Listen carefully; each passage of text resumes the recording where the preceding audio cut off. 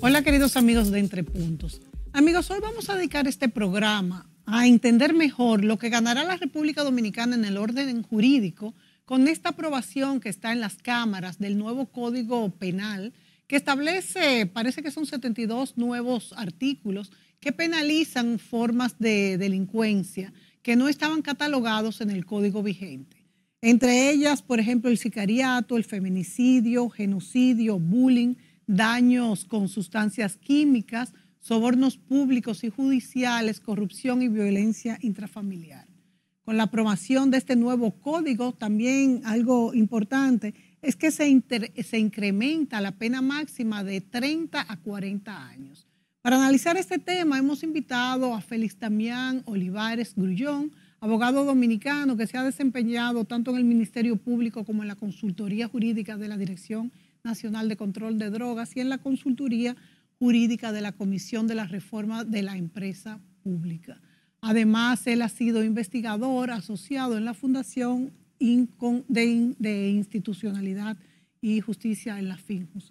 Bienvenido, Félix Damián. Hace mucho que no estabas por aquí. Eso es correcto. Eh, eh, para mí es un honor y, digamos, es una, un tema de permanente preocupación. Sí que es la forma como se, se determinan que ciertas conductas son disvaliosas y merecen ser reprochadas, merecen ser sancionadas.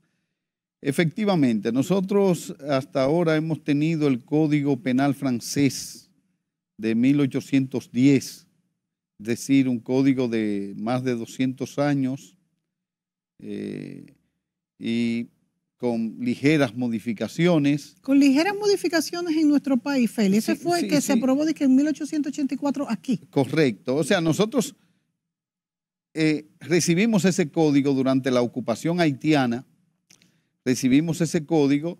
Eh, nosotros teníamos los códigos de 1832, los llamados códigos de la restauración, para esa, e, la restauración borbónica en Francia, pero que para esa época estábamos eh, bajo el gobierno, la ocupación haitiana, 1832, y en 1844, se, a raíz de la independencia, se dictó un decreto del año siguiente, de 1845, en, en, virtud del cual se adoptaban esos códigos y permanecimos con esos códigos hasta 1882 eh, en francés.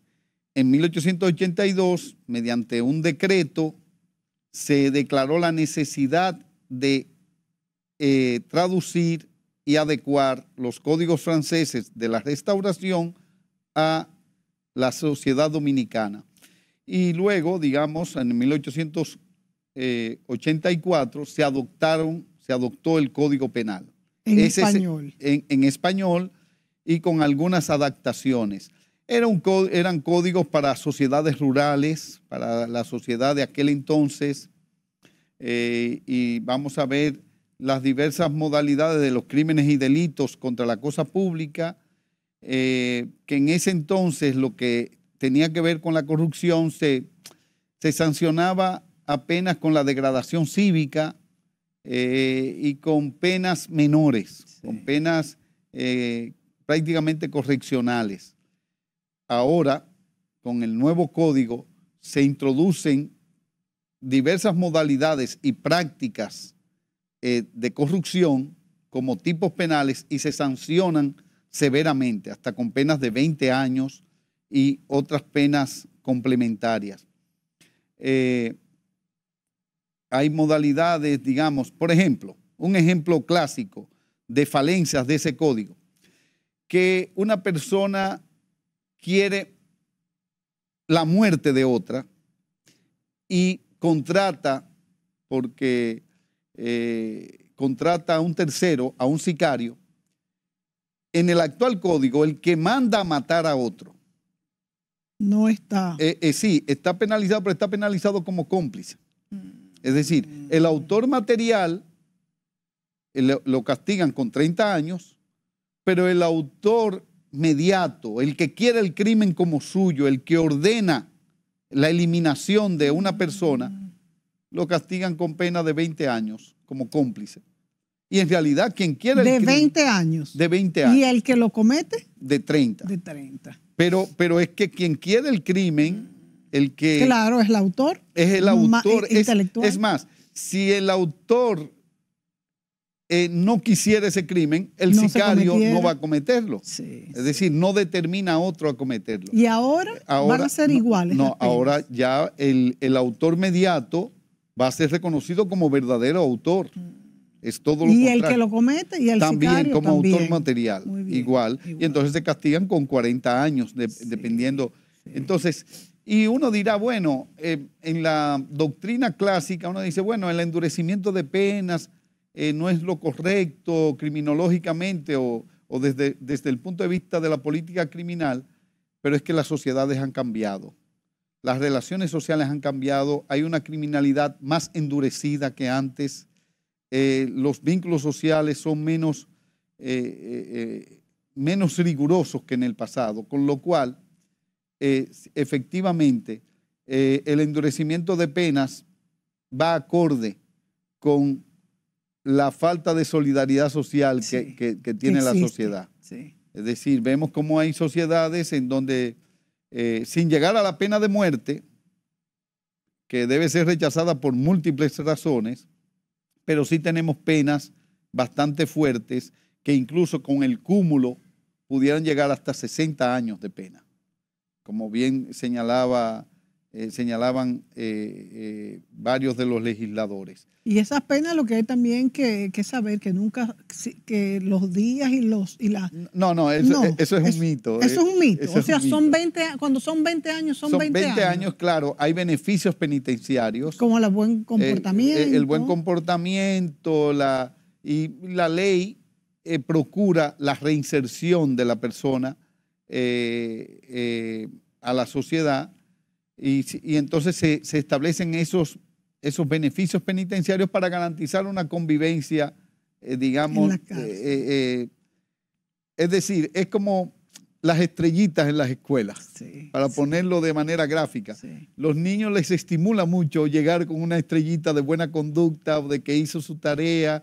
Entonces, a, a nivel de beneficios penitenciarios, el sistema progresivo eh, de reinserción favorece algunos beneficios, pero todo ¿Cuántos va a ir pueden acorde. ser esos beneficios cuando tú tienes un buen comportamiento y el ciudadano se ve que se está refor- Regularmente la, reformando? la- la- la ley de, gestión, de ejecución penitenciaria, de ejecución penal, prevé los, eh, eh, y, leyes que están vigentes, la ley 164 eh, sobre libertad condicional, prevé que después del cumplimiento de la mitad de la pena, una persona pudiera ser favorecida con un régimen diferente eh, de, escarcelación y entonces de eh, eh, existe lo que es una libertad condicional, entonces Sí. está sujeto a una serie de condiciones, pero eso no es automático, eso es un beneficio excepcional que el juez de ejecución de la pena en atención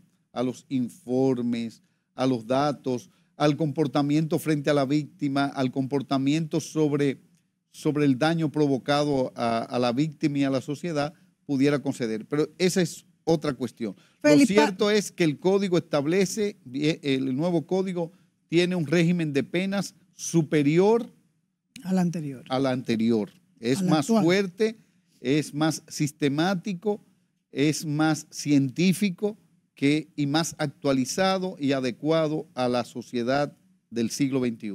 Entonces, para concluir el tema anterior, ¿no es verdad que los días y las noches se pueden contar como si fueran dos, un día y una noche? Entonces, ¿y por qué hay veces que han salido antes? Ha sido entonces por buen comportamiento, que se dice, no, fulano salió porque se le contaron eh, doble. No, No, es no, no, Es, es, eh, eh, eh, lo que ha ocurrido, lo que ocurre en ese tipo de situaciones es que hay un perdón, una, perdón, una libertad condicional Sí. a partir del cumplimiento de la mitad de la pena Mm. eh, o de dos tercios de la pena. Todo va a depender según el tipo penal y, y las, y, lo que determina el juez de la ejecución. Mm.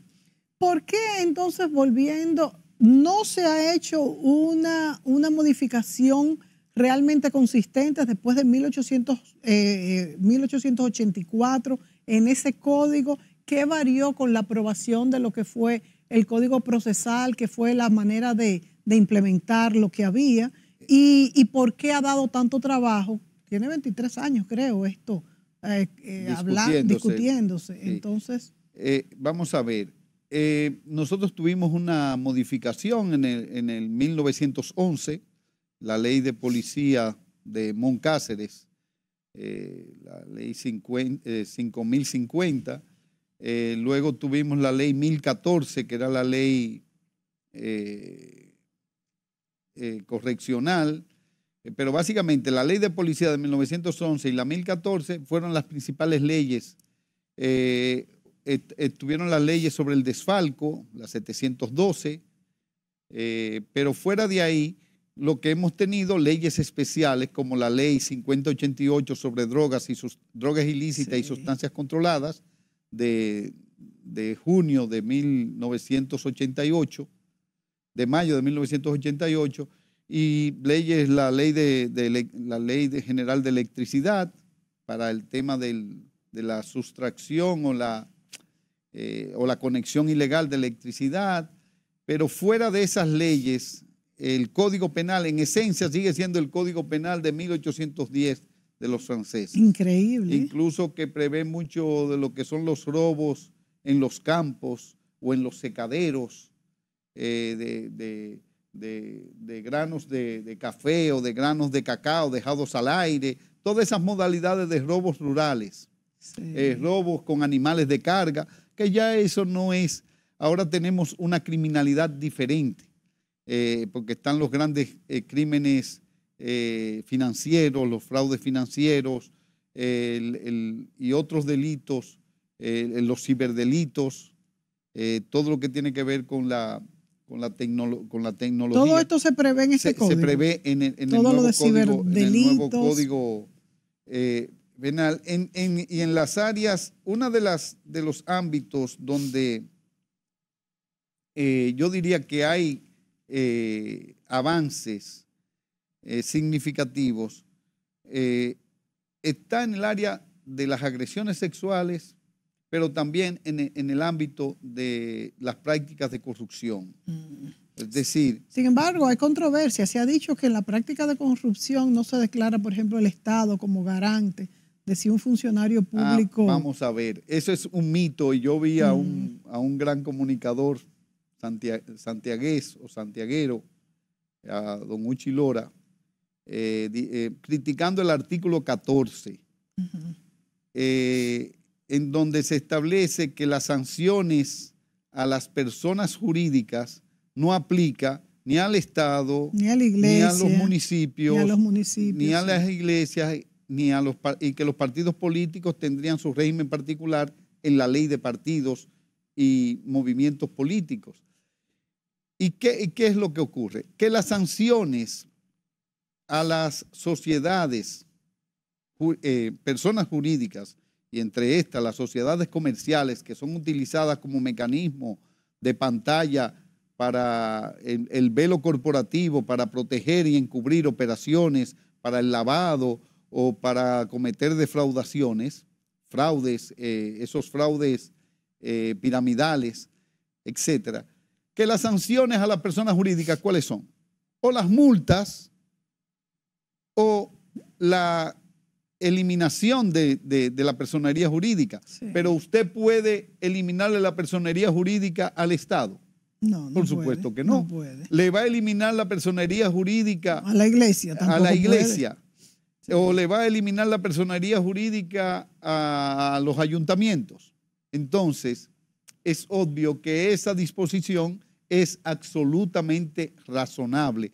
¿Por qué? Porque no se trata de la persona jurídica eh, de derecho privado que puede ser un instrumento para cometer un crimen o para encubrir un crimen. Pero ellos lo que dicen es que debe de responder al crimen. No, no es que se le quite. No, pero es que es una cosa el Estado tiene una obligación eh, eh, frente a los ciudadanos de que cuando se ha cometido un crimen, el Estado tiene que proteger y buscar la sanción de ese crimen. Exacto. ¿Por qué? Porque el Estado prohíbe el que las personas nos hagamos justicia por mano propia. Sí.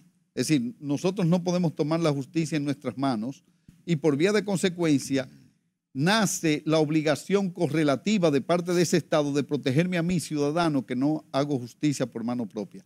Si yo tengo un familiar o yo mismo he sido afectado en mi integridad, en mi libertad sexual, una violación, una agresión sexual, o en mi integridad física, o en mi patrimonio, yo no me puedo hacer justicia por propia mano, pero entonces el Estado tiene la obligación de garantizarme la justicia a través de sus instrumentos, a través de todo ese aparato de fiscales, policías, tribunales, carceleros.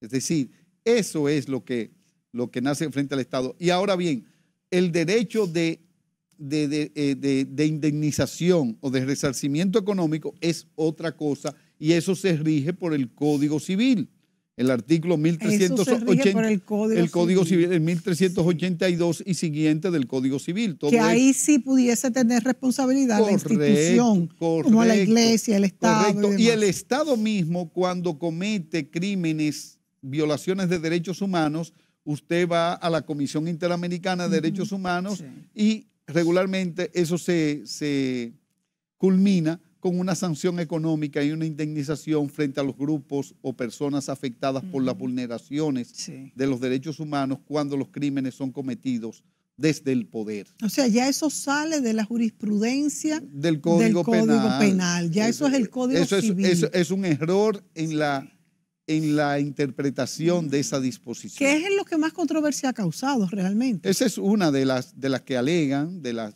de los motivos que alegan, pero yo creo que es real y efectivamente esta herramienta o esta caja de herramientas, porque ahí lo que hay son unas cajas de herramientas para poder organizarnos mejor como sociedad. ¿Qué es lo que se necesita? y es lo que se necesita. Vámonos a la pausa, Félix, y volvemos también con otra de las, de, las controversias que ha despertado y es también con, el aborto y, y las tres causales. Volvemos inmediato.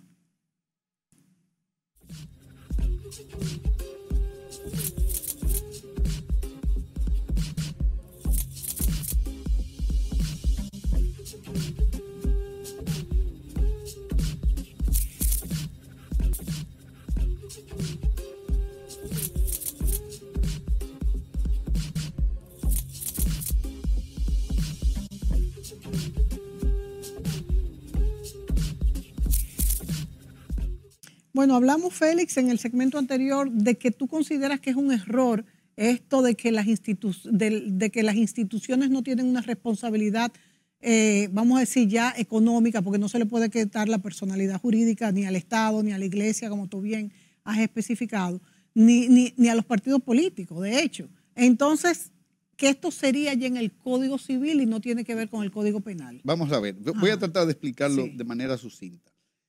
El principio tradicional que siempre ha existido con relación a las sociedades o personas jurídicas es societas, eh, eh, societas delinquen no potest, es decir, las sociedades no pueden cometer crímenes.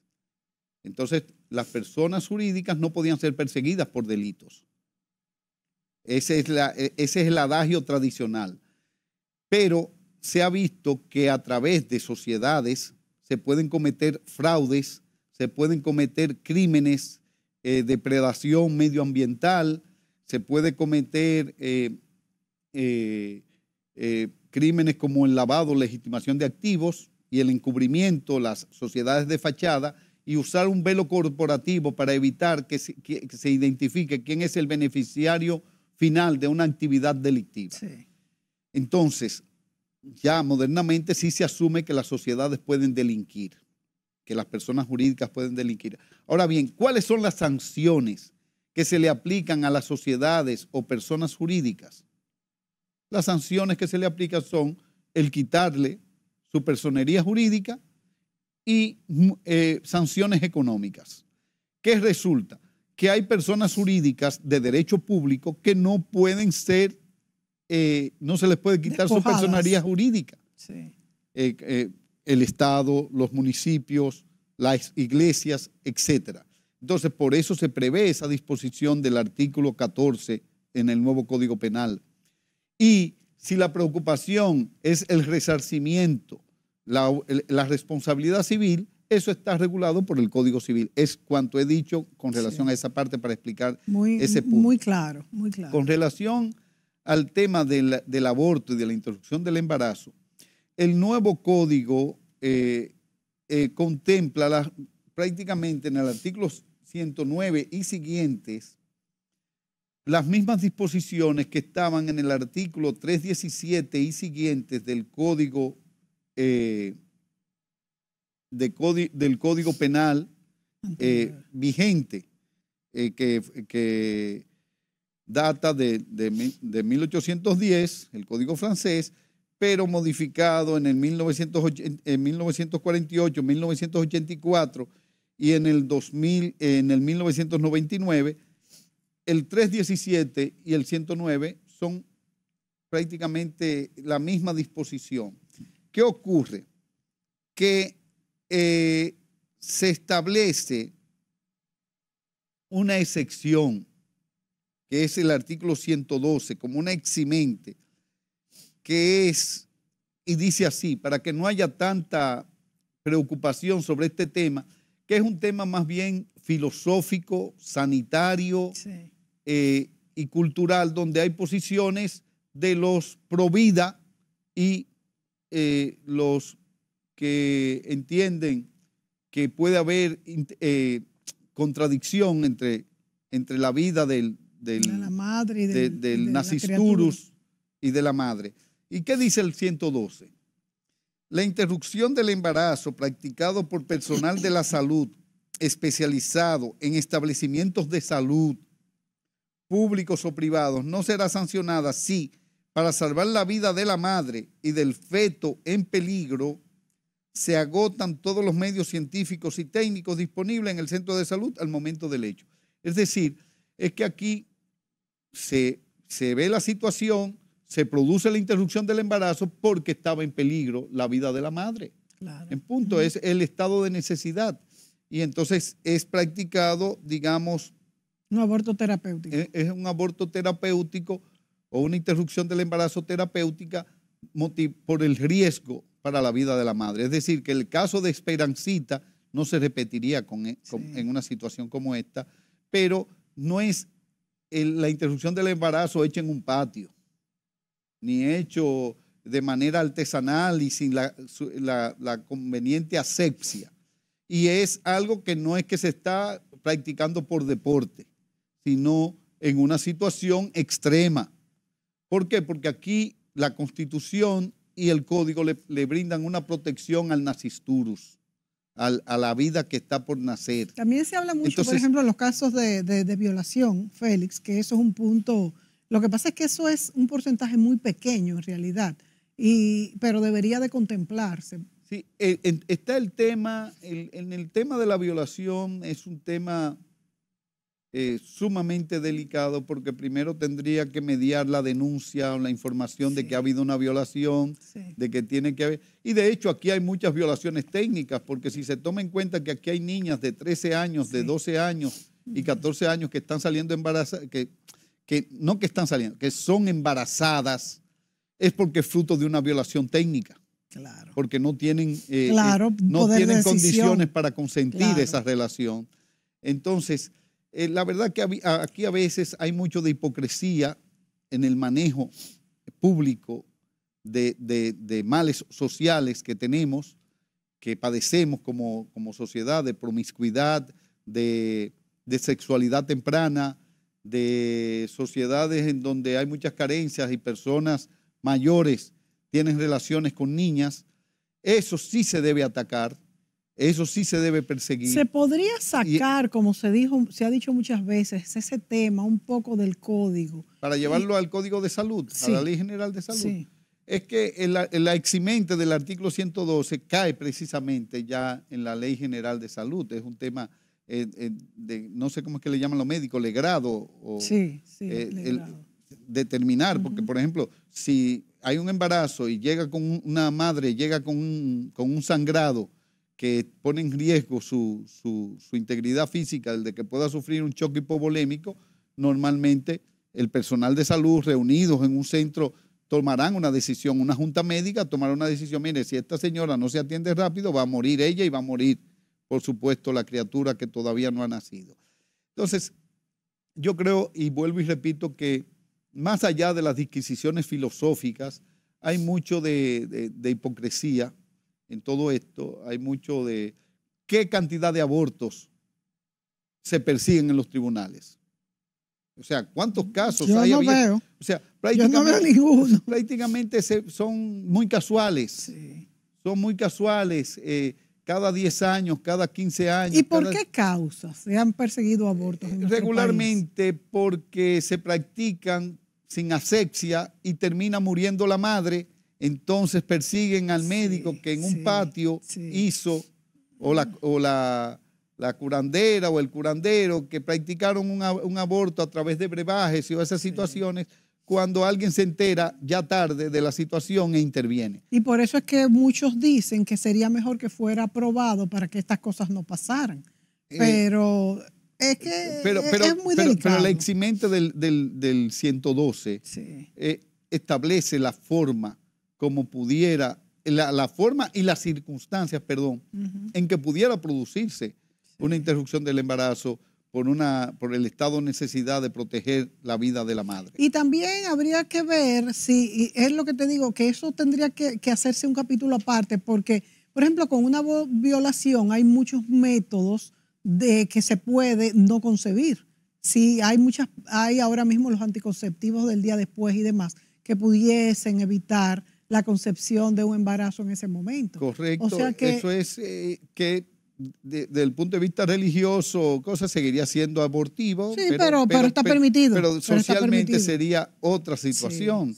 Eh, eh, y hay quienes hablan de, entregar en adopción. De, eso es muy difícil. pero ya esas son otras cuestiones. Y no se puede obligar a una madre. A, ya a una persona a llevar a, a, sí, sí, a, término. eso, eso, eso. eso es. Eh, Félix, entonces tenemos escasez de tiempo. Vamos en estos minutos que nos faltan a, ver qué, cuáles son esos delitos nuevos tipificados en el código y sus penas. Y también me gustaría abordar el problema que tenemos nosotros con las, con las cárceles porque ahora vamos a tener más tiempo de cárcel cuando tenemos las cárceles abarrotadas. Entonces vamos a poner en una balanza primero esos delitos nuevos tipificados y sus penas y el tratamiento de las cárceles que tendremos en los próximos años. Y también, ¿qué tú crees que pasará ahora en, la Cámara de Diputados?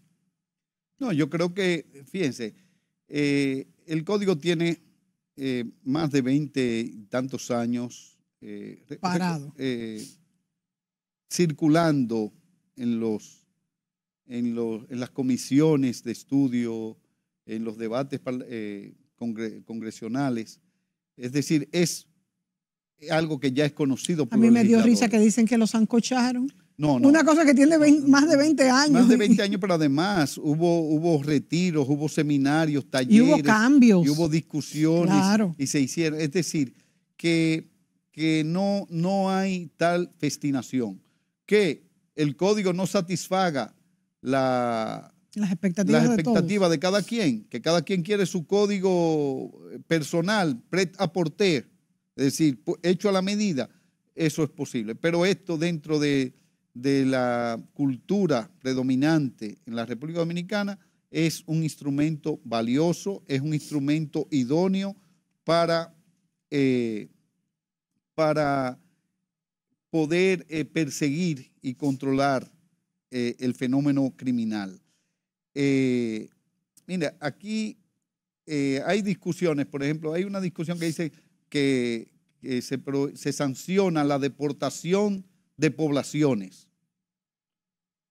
Eso es claro, eso es, eso es un tipo penal válido. Eso no quiere decir que no podamos aplicar la ley de migración porque hay quienes han querido confundir.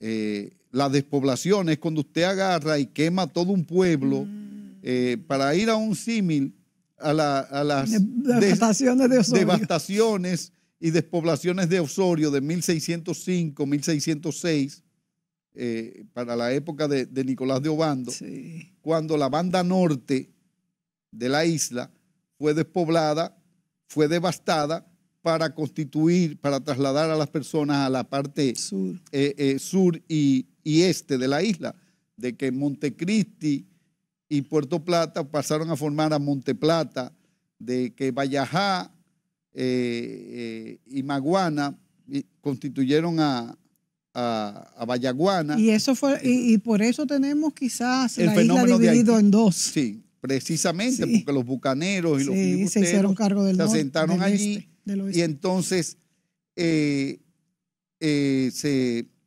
Entonces no tiene que ver con las deportaciones, eso no tiene nada que ver con eso. No, eso no, no quita eh, el poder. Es cuando hay despoblaciones en medio, digamos, de conflictos bélicos. Sí. Es ese tipo de, de situación. Déjeme buscar aquí la, la, eh, por ejemplo, hay, hay las experimentaciones biológicas se sancionan, eh, el uso de la adulteración y falsificación de, medicamentos y bebidas, todas esas modalidades. Sí, que era un problema el uso que teníamos. El uso del plomerito, sí, que el ácido es terrible, el, ácido del diablo, mm. todos esos eh, son sancionados, una modalidad que se aplica mucho que es el autosecuestro, eh, también se sanciona. Y por ejemplo, la, la, lo que le ponen a uno, ¿cómo que se llama? Eh, eso también. Sí, eso también se sanciona, lo que la, burundanga. La burundanga. Correcto.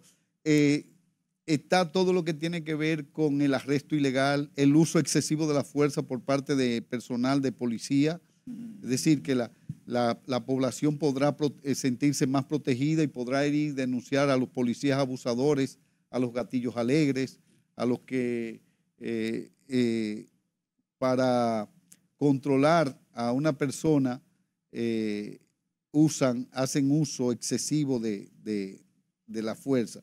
Entonces, hay otras formas también penales como son la, discriminación, que que son prácticas, el prosenetismo, como siempre se, incorpora eh, todo lo que tiene que ver con la explotación sexual de niños, niñas y adolescentes, eh, las diversas modalidades de,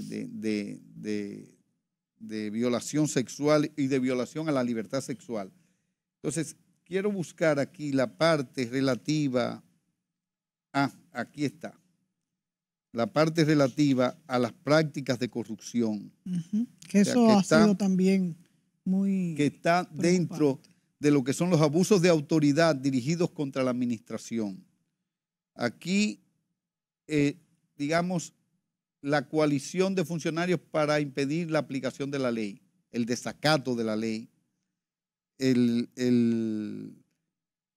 en los artículos 308 y siguientes, las faltas del deber de probidad, la concusión, que la, concusión es un tipo penal que está previsto, pero que pocas personas eh, lo, utilizan. ¿Qué es la concusión? La concusión es una forma de exsanción, es una forma de sacudirte, que viene, el, el, término concusión viene del término italiano concutere, que es como cuando tú sacudes una mata mm. para que caigan las cerezas o las guayabas, que tú las sacudes, que caen todas las, las frutas es como cuando te sacuden el bolsillo y te cobran algo que tú no debes.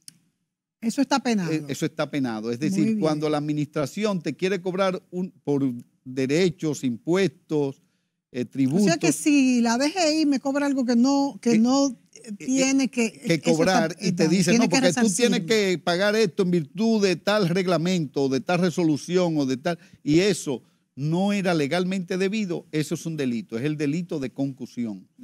Pero también está el, contratar sin el cumplimiento de los requisitos legales. Por ejemplo. Eh, dice aquí, el funcionario o servidor público que en ocasión del ejercicio de sus funciones tramite un contrato a sabiendas de que éste no cumple con los requisitos legales esenciales o lo celebre o liquide sin verificar el cumplimiento de dichos requisitos, será sancionado con prisión de dos a tres años de prisión y multa de tres a seis salarios mínimos del sector público. O sea que cualquier funcionario público, por ejemplo en obras públicas, que haga un contrato que no cumpla con las leyes de ese, con la ley general de, de contrataciones, del Estado, estaría cometiendo este tipo penal. El cohecho y el tráfico de influencias, el cohecho pasivo, el cohecho activo, el tráfico de influencias activo, es decir, el que un funcionario llame a otro funcionario y le diga, mire, para que usted me le dé ese contrato, o para que me le compre a fulano, o, lo que fue. Mire, ¿cómo lo dice? Comete tráfico de influencias activo el funcionario o servidor público que influye o presione a otro funcionario público o autoridad prevaliéndose de las facultades de su cargo o de cualquier otro medio derivado de su relación personal o jerárquica con este o con otro funcionario o autoridad, a fin de lograr un acto, una resolución o decisión que le pueda generar directo o indirectamente un beneficio económico, ventaja indebida para sí o para un tercero. Eso es muy importante. El, tráfico de influencias, el tráfico de influencias pasivo también como, como contracara y eh, la malversación de los fondos públicos, la recepción ilegal de beneficios. De beneficios. pero eso no estaba penado. No, no estaban penados. La mayoría de estas modalidades son muy eh, nuevas. Eh, son nuevas y en algún momento se llamaban indelicadezas. Félix, se nos acaba el tiempo. en estos dos minutos que nos quedan, ¿qué podemos hacer con las cárceles?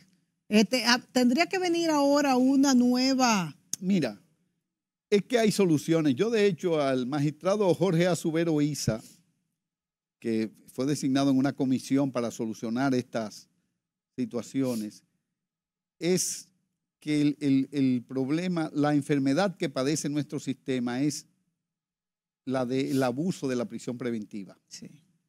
Pero ¿qué ocurre? Tú no puedes eh, dejar simplemente en libertad a las personas sin tener un mecanismo de seguimiento.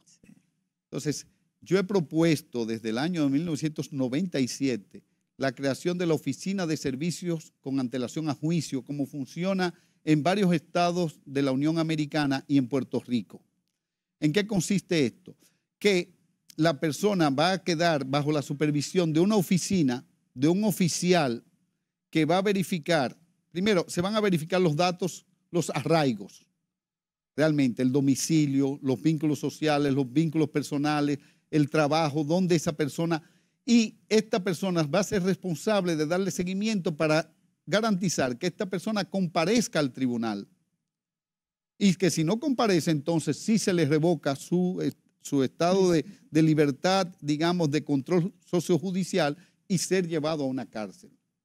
Eso es fundamental, eso tenemos que hacer. Esto, la OSAC, es un mecanismo que sería autofinanciable porque la gente preferiría pagar el costo de ese servicio, eh, los grilletes electrónicos y todos otros sistemas de seguimiento que permitiría que de los 20 eh, mil eh, presos preventivos hayan por lo menos 10 mil o 15 mil que estén en, sus casas esperando el juicio. Ahora, cuando sean condenados, entonces van a su casa. No, por supuesto. Entonces, establecer ese mecanismo que es perfectamente viable, funciona y lo ha demostrado en otros países, es económica y financieramente válido, entonces tendríamos que las cárceles estarían despobladas, pudiéramos cerrar la victoria, que es un verdadero fracaso, y tener eh, eh, cárceles en donde sí haya posibilidad de reinserción. Me parece muy buena tu propuesta. Eh, y eso está ahí, esa experiencia está ahí y se ha discutido. El magistrado Luis Henry Molina la conoce muy bien, eh, la conocen eh, la mayoría de los concernidos con el tema pero hay que tener un poco de voluntad y de disposición para hacerlo. Yo creo que es el momento, porque ahora vamos a tener con estas penas más largas las cárceles todavía más llenas de las que lo tenemos. Gracias, Félix, por estar aquí analizando este tema tan importante como este nuevo Código Penal en la República Dominicana, que como nos ha explicado el abogado Félix Damián Olivares, tiene demasiado tiempo sin haber sido reformado y, tiene, y tenía ya más de 20 años dando vueltas y al fin parece una ventana que sí se va a aprobar y tendremos una, un, método más, más, más explícito de cómo juzgar al que, al que no lo cumple. Y yo creo que las personas también pensarán dos veces antes de, errar. Gracias, Félix. Gracias a ustedes, amigos televidentes. Y será hasta la próxima. Thank you.